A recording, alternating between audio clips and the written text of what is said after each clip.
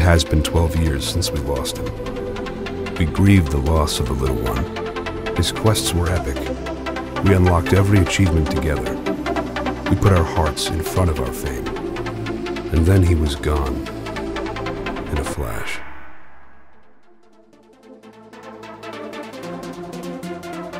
But we found a way to bring him back.